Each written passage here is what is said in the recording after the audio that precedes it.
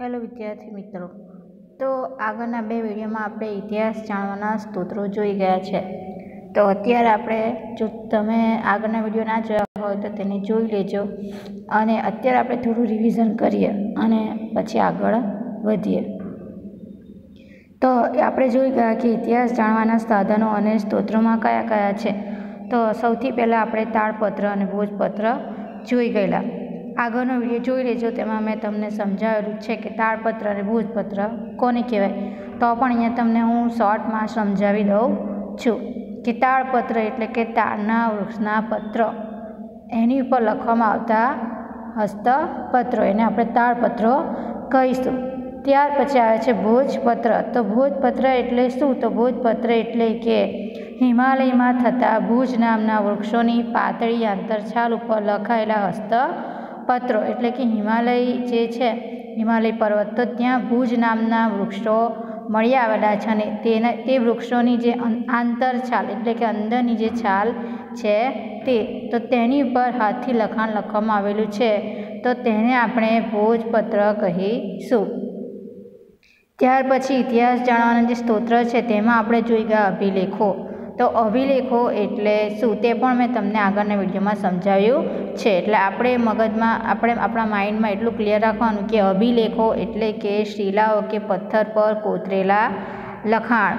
તેને આપણે અભિલેખો કહીશું અને એ અભિ, એ અભિલેખોમાં જે અશોક નામનો રાજા હતો તો તે, તેના અભિલેખો ખૂબ જ પ્રખ્યાત હતા. એણે જે શિલાલેખો લખાવેલા તો તે અત્યારે પણ આપણે જૂનાગઢમાં જોઈ શકીએ છીએ. ત્યાર પછી આવે છે તામ્રપત્રો. તો તામ્રપત્રો એટલે કે તાંબાના પતરા પર કોતરીને લખવામાં આવતું લખાણ એટલે કે તામ્રપત્ર. અને આ તામ્રપત્રો પણ અત્યારે તમારે જોવા હોય તો તે સચવાયેલા છે ગુજરાતમાં. તેના વિશે પણ આપણે ચર્ચા કરેલી. ત્યાર પછી આવે છે સિક્કાઓ. તો આ જે સિક્કાઓ છે, તો તેના પરથી આપણે જે તે સમયના રાજાનું નામ, તેના ધર્મ સંસ્કૃતિ વગેરેના વગેરેના સમયની માહિતી મળે છે. આપણે આગળના વિડીયોમાં જોઈ ગયેલા કે સિક્કાઓ જે છે, આપણા દેશમાંથી આપણા દેશમાંથી જે સિક્કાઓ મળી આવેલા છે, તો તે સિક્કા પરથી આપણને તે સમયનો કયો રાજા હતો, તે કયો ધર્મ પાળતો હતો અને તેનો સમય, કેટલા ગાળો, એનો સમયગાળો હતો, રાજા તરીકેનો, તો તે બધી જ માહિતી આપણને આ સિક્કાઓ પરથી મળી આવે છે. એટલે કે સિક્કાઓ પણ ઇતિહાસ જાણવા માટેનું એક સ્તોત્ર સાધન છે. અને આપણે જોઈ ગયેલા આગળના વિડીયોમાં કે આવા પંચમાર્ક એટલે કે પાંચ માર્કવાળા સિક્કા. તો તે એના પરથી આપણને ઇતિહાસની માહિતી મળે છે. અને આવા સિક્કાઓ કોના કયા કોના કયા કયા કયા રાજાઓના સમયગાળામાં મળી આવ્યા? તો ગ્રીક રાજાઓ મૌર્યકાળના રાજાઓ, ગુપ્ત યુગના રાજાઓ. અને આ બધા જે રાજાઓ હતા તે સોના, ચાંદી અને તાંબાના સિક્કાઓ પર કોતરણી કામ કરાવતા હતા. અને આપણે અહીંયા જોઈ ગયેલા કે પંચમાર્ક સિક્કાઓ. તેના વિશે પણ આપણે આગળ ચર્ચા કરી છે કે ધાતુના ટુકડાઓમાં, ધાતુનો જે ટુકડો હોય છે, સોના, ચાંદી, તાંબુ, એ બધી જે ધાતુઓ છે, તો તેના જે ટુકડાઓ મળ્યા છે, તો તેની પર એ લોકો શું કરે છે? છાપ ઉપસાવે છે, એક પ્રકારનું ચિત્ર બનાવે છે, છાપીને. એના પર કોતરણી કામ કરીને અને પછી એ બીબામાં મૂકીને દબાણ આપી બનાવાતા સિક્કાઓને પંચમાર્ક સિક્કા તરીકે ઓળખાય છે. ચાલો, ત્યાર પછી આવે છે ઇતિહાસના અભ્યાસીઓ, પુરાતત્વશાસ્ત્રીઓ, ઇતિહાસકારો અને પ્રવાસીઓ. આ પણ બધા જે છે તે ઇતિહાસ જાણવાના સ્તોત્રો અને સાધનો છે. આના પરથી પણ આપણે ઇતિહાસને જાણી શકીએ છીએ. તો તે પણ આપણે આગળના વિડીયોમાં જોઈ ગયેલા કે ઇતિહાસના અભ્યાસીઓ એટલે કે પુરાતત્વશાસ્ત્રીઓ એટલે કે જે પહેલાંના જમયનું જે સમયનું જે બધું હોય છે, તેને ખોદકામ કરે છે, ત્યાં ઉત્ખનન કરે છે. અને બધી શોધખોળો કરીને આપણને એમાંથી જે બધી વસ્તુઓ મળે છે, શોધખોળ દરમિયાન, જેવા કે મકાનો, સિક્કાઓ, ઈંટો, પથ્થરો, ઓજારો, ખોરાકના નમૂનાઓ, મનુષ્યો અને પ્રાણીઓના હાડકા તો એ બધાને લોકો શું કરે છે? આ ઇતિહાસના અભ્યાસકારો તેનો અભ્યાસ કરે છે અને પછી તેમાંથી બધી જે વસ્તુઓ હોય છે, તેને તે છૂટી પાડે છે અને પછી તેઓ એની પર બધું સંશોધન કરે છે અને આપણને તે તે સમયનો સમયગાળો બતાવે છે. અને પુરાતત્વશાસ્ત્રીઓને આપણે અંગ્રેજીમાં શું કહીએ છીએ તો આર્કેલોજિસ્ટ આપણે જે પુરા, ઇતિહાસના જે પુરાતત્વશાસ્ત્રીઓ છે, ઇતિહાસની શોધખોળ કરનાર, તેને આપણે અંગ્રેજીમાં આર્કેલોજિસ્ટ કહીએ છીએ. ત્યાર પછી આવે છે પ્રવાસીઓ. તો આપણે તે પણ જોઈ ગયેલા આગળના વિડીયોમાં કે આપણા દેશમાં, આપણો દેશ ખૂબ જ સમૃદ્ધ હતો પહેલાંના સમયમાં, પ્રાચીન સમયમાં. અને ત્યારે જે બીજા દેશના લોકો હતા તે વારંવાર આપણા દેશમાં પ્રવાસ કરવા આવતા હતા. અને આ પ્રવાસ દરમિયાન તેઓ એક નોંધ લખતા હતા. નોંધપોથી હોય છે ત્યાં પ્રવાસ દરમિયાન એમની પાસે. તો તે નોંધપોથીમાં એ લોકો એમની નોંધ લખતા હતા કે કયા, એમને કઈ વસ્તુ આ દેશમાં ગમી છે? એમના, એમનો જે જે જગ્યા પર એ ફર્યા હતા, તો એ જગ્યાનો ઇતિહાસ કેવો હતો? એની સંસ્કૃતિ કેવી હતી? એ લોકો કયા કયા ધર્મો પાળતા હતા? એમનો ખોરાક શું હતો? એ કેવા કપડાં પહેરતા હતા? તો એ બધી જ, કયા કયા રીત રિવાજો હતા? તો તે બધી જ નોંધ આ પ્રવાસીઓ હતા તે એમની ડાયરીમાં કરતા હતા. અને આપણે પ્રવાસીઓના નામ પણ જોઈ ગયા હતા કે મેક્સેનિસ પ્લિની, ફાહિયાન, યુઅન સ્વાંગ આ બધા ચીની મુસાફરો હતા કે જેઓ ભારતમાં આવીને મુસાફરી કરી ગયા હતા. ત્યાર પછી આવે છે કે પુરાતત્વ શાસ્ત્રીઓ ઇતિહાસકારોના સંશોધનથી આપણને ઉત્તર પશ્ચિમ ભારતમાં સિંધુ નદીના કિનારે જે લોકો મળી આવ્યા છે, તો તે લોકો કેટલા વર્ષ જૂના છે? તો તે લોકો પિસ્તાલીસો વર્ષ પહેલાં ત્યાં વસવાટ કરતા હતા, એટલે કે રહેતા હતા સિંધુ નદીના કિનારે. અને ગંગા નદીની આસપાસ પણ આવા ઇતિહાસકારોએ સંશોધન કરીને ઘણી બધી શોધખોળો કરી છે, અને ત્યાં ગંગા નદીના કિનારે પચીસો વર્ષ પહેલાં ત્યાં કેવા શહેરોનો વિકાસ થયો હતો તે એ લોકોએ શોધખોળ કરીને આપણને જણાવ્યું છે. જો કે આ બધા સાધનોથી તે સમયના માનવ શા માટે આપણે આ બધું જાણવું જોઈએ? તો આપણને તેના, જો આપણે જાણીએ તો આપણને ખબર પડે છે કે તે સમાજના, માનવ સમાજમાં કેવા કેવા રીત રિવાજો હતા? ખોરાક ને પોશાક કેવો હતો એમનો?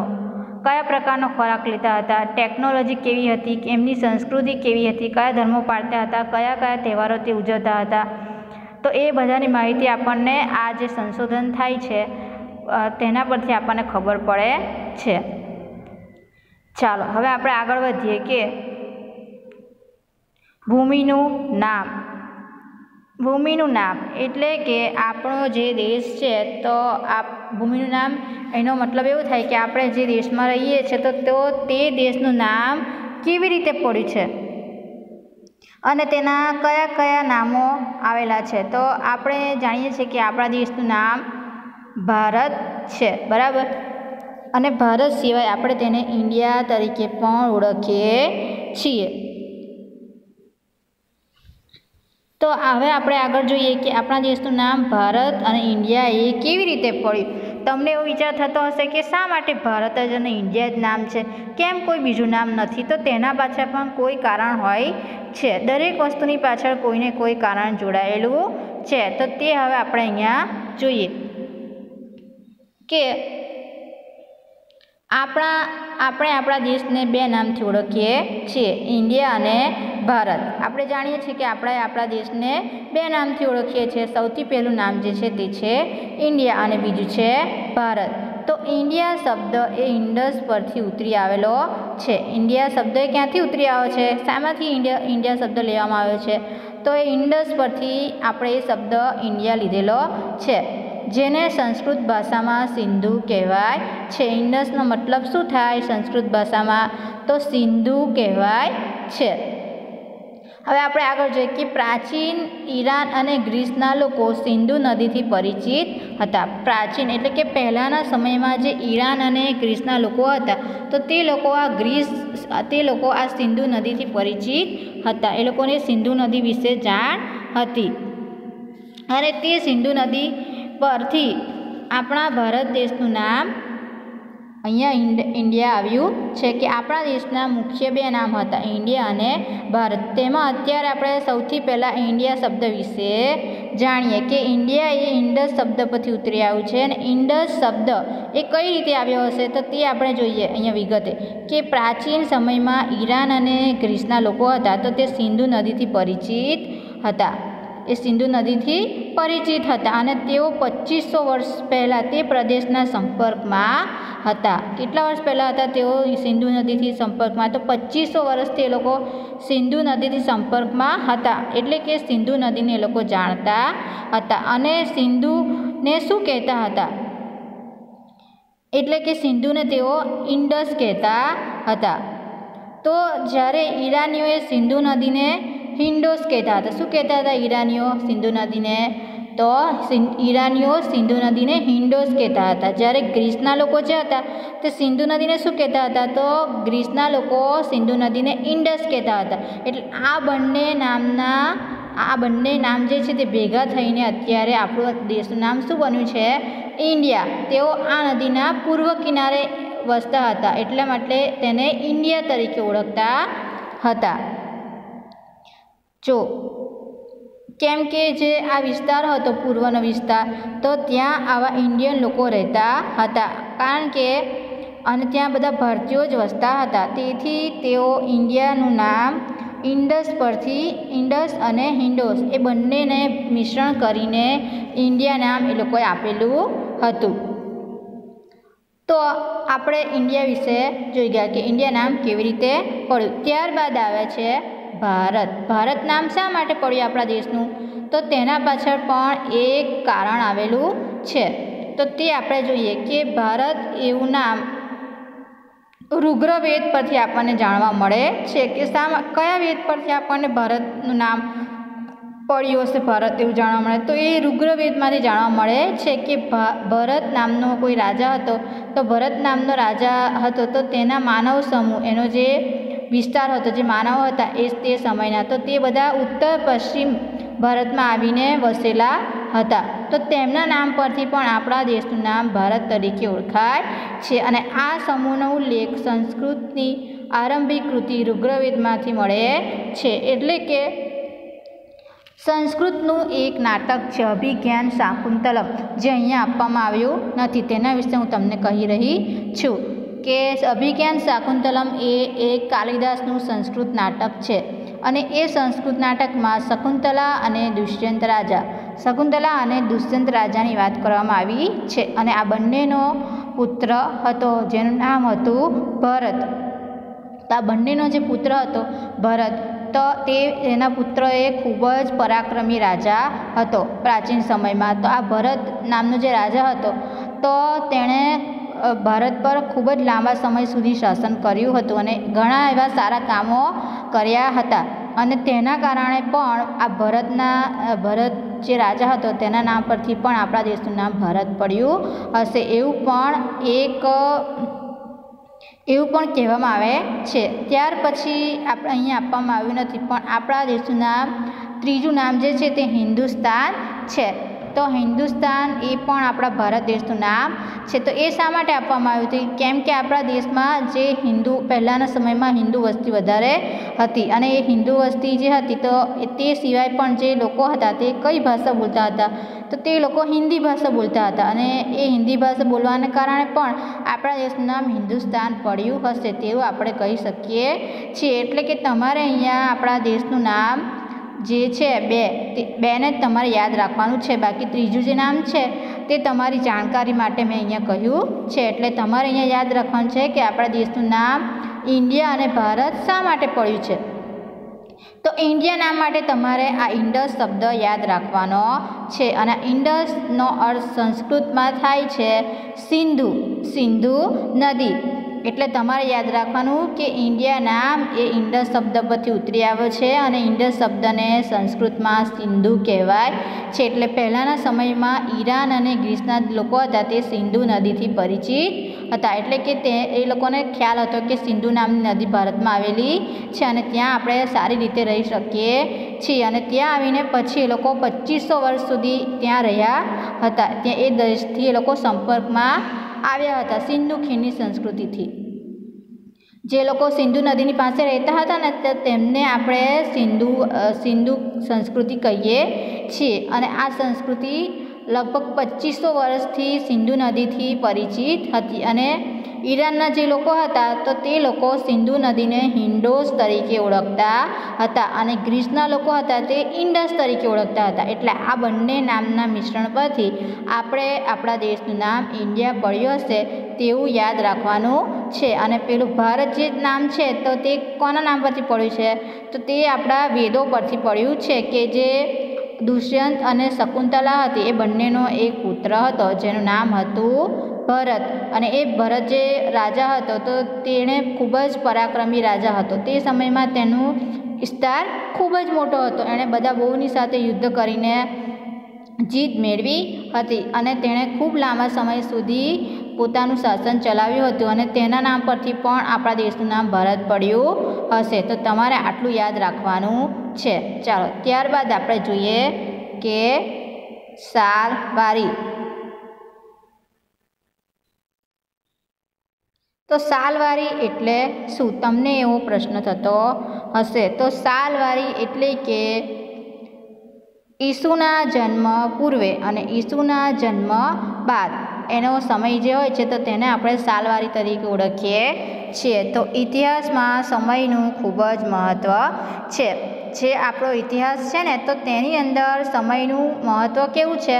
તો ખૂબ જ મહત્ત્વ છે. સમય ચોક્કસ કોઈ પણ ઘટના જ્યારે બની હોય છે, તો ત્યારે આપણે એનો સમય આપવો પડે છે. ચોક્કસ સમય આપવો પડે છે. આપણે કોઈ કોઈ પણ સમય આપણે કહી શકતા નથી, પણ તેની જે સાલ હોય છે, તે સાલ આપી, આપણે આપવી પડે છે. તો આપણે જોઈએ કે ઘટનાનો સમય અને સ્થાનની સાથે જ લખી શકાય. જ્યારે પણ કોઈ ઘટના ઇતિહાસમાં બની છે તો તેને આપણે તે ઘટનાને અને તે સ્થાનને આપણે એનો સમય બતાવવો પડે છે. ચોક્કસ સમય આપણે બતાવવો પડે છે કે આ સમયમાં આ ઘટના બની, આ ઘટના આ જગ્યાએ બની હતી. તેવું આપણે દર્શાવી શકીએ છીએ. ચાલો આગળ જોઈએ કે આપણે સમયને તારીખ, માસ અને વર્ષ સાથે સાંકળી, સાંકળીને સમજીએ છીએ. જ્યારે પણ આપણે સમયને સમજવો હોય તો આપણે શું કરીએ છીએ? કે આપણે, આપણને જોવું હોય કે આજે કયો સમય થયો છે. તો આપણે પહેલાં જોઈએ કે આ તારીખ છે, આજે આ તારીખ છે, આ મહિનો છે અને આ વર્ષ છે. તો આપણે સમજી શકીએ જેમ કે આપણે ઉદાહરણ તરીકે લઈએ કે આજે કઈ તારીખ છે? તો આજે છે છ તારીખ, મહિનો કયો છે? તો જુલાઈ. અને વર્ષ કયું છે? તો બે હજાર. તો આવી રીતે આપણે એને સમજીએ છીએ કે આજે આ તારીખ છે, આ મહિનો છે ને આ વર્ષ ચાલે છે. જેમ કે જો અહીંયા ઉદાહરણ આપ્યું છે કે જેમ કે વીસ જુલાઈ બે હજાર અઢાર ને શુક્રવાર. આ રીતે આપણે સમયને ઓળખી શકીએ છીએ. આ પ્રમાણે સમયની ગોઠવણી એ ઈસુ ખ્રિસ્તના જન્મ સાથે સંકળાયેલ છે. આ ગોઠવણી કેવી રીતે સંકળાય, કોની સાથે સંકળાયેલી છે? તો આ ગોઠવણી જે છે તે ઈસુ ખ્રિસ્ત. તમે લોકો જાણો છો કે ખ્રિસ્તી ધર્મમાં ઈસુ ખ્રિસ્ત જે છે તે ઈસુ ખ્રિસ્તને ભગવાન તરીકે ઓળખવામાં આવે છે. ખ્રિશ્ચન લોકો હોય છે તે ઈસુ ખ્રિસ્તને માનતા હોય છે અને તેઓ ઈસુ ખ્રિસ્તને ઈસુ ખ્રિસ્તને તેઓ પોતાના ભગવાન ગણે છે અને જ્યારે એમનો જન્મ થયેલો, તો તે તે એમના જન્મ પછીની જે સમય છે અને તે પહેલાંનો જે સમય છે તેને આપણે સાલવારી તરીકે ઓળખીએ છીએ. ચાલો આગળ છે આપણે કે ખ્રિસ્તી ધર્મના સ્થાપક, કોણ છે ખ્રિસ્તી ધર્મનો સ્થાપક? એટલે કે ખ્રિસ્તી ધર્મ સ્થાપનાર. તો તે હતા ઈસુ ખ્રિસ્ત તો ઈસુ ખ્રિસ્તના જન્મને દુનિયાના કાળ કાળગણ કાળગણના સાથે જોડવામાં આવ્યો છે કે જ્યારે ઈસુ ખ્રિસ્તનો જન્મ થયો હતો, ત્યાર પછી દુનિયામાં જે કાળ આવે છે, સમય, યુગ આવે છે, તો તેની સાથે એને જોડવામાં આવ્યો છે. જેમ કે આપણે ઈસવીસન એમ કહીએ, એટલે કે ઈસવીસનને અંગ્રેજીમાં આપણે એડી કહીએ છીએ. એડી એટલે કે એનો ડોમિની ઈડી એટલે શું? તો ઈડી એટલે કે એનો ડોમિની એટલે કે ઈસુ ખ્રિસ્તના જન્મ પછીના વર્ષો એમ કહેવાય. ઈસવીસન એટલે શું? કે ઈસુ ખ્રિસ્તનો જે જન્મ થયો હતો, તો તેમના જન્મનું જે વર્ષ અને તે તેમના જન્મના વર્ષના પછીના જે વર્ષો હતા, તો તેને આપણે શું કહીશું? તેને આપણે કહીશું ઈસવી સન દાખલા તરીકે ઈસવી સન બે હજાર એટલે કે ઈસુ ખ્રિસ્તના જન્મ પછીના બે હજાર વર્ષ.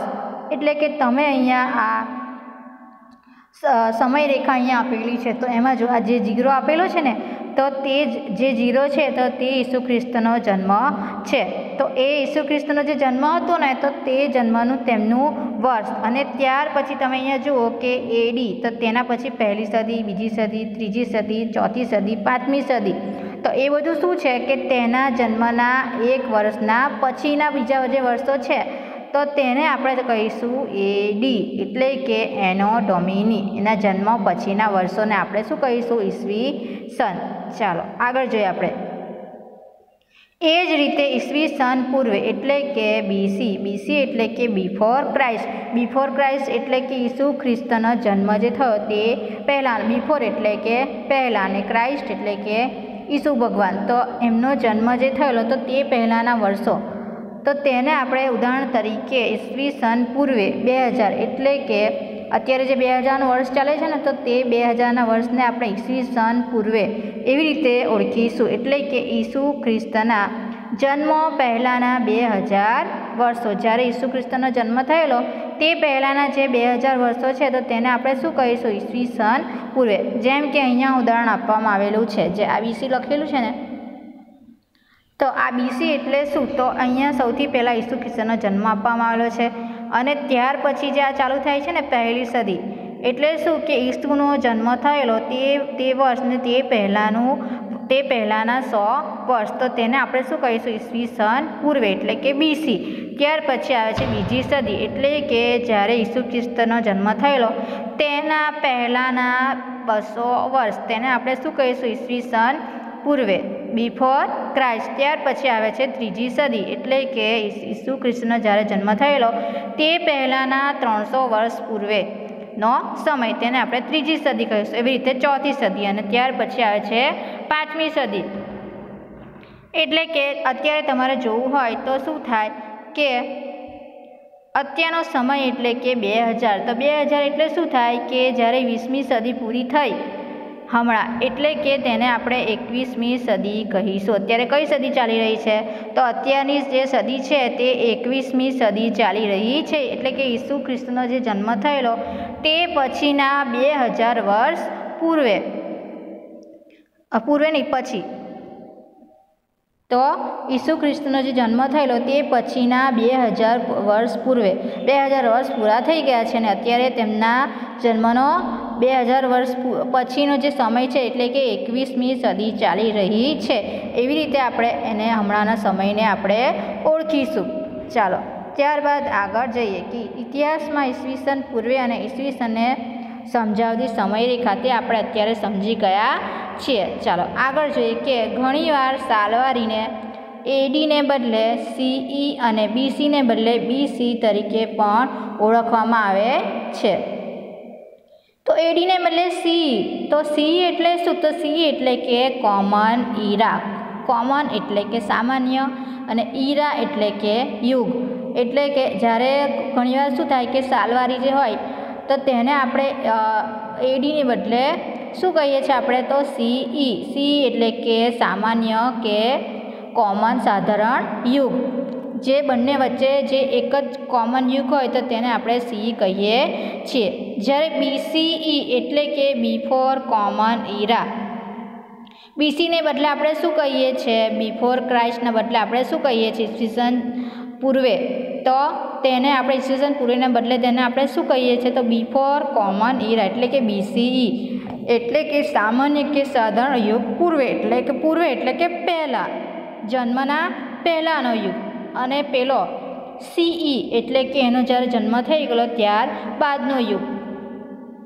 ચાલો, આગળ જોઈએ આપણે કે ખ્રિસ્તી ધર્મ એ વિશ્વના મોટાભાગના રાષ્ટ્રો સાથે સંકળાયેલો હોવાથી અનેક રાષ્ટ્રોની જેમ આપણે ભારતમાં પણ આ સાલવારીનો પ્રયોગ કરીએ છીએ.